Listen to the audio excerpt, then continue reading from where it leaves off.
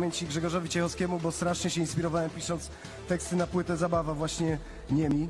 No i wypadałoby, żebym jako autor roku coś powiedział autorskiego, to może powiem tak. Ci, co tak mówią, chyba mają rację. Pięć gwiazdek, trzy gwiazdki i konfederację. Trzymajcie się.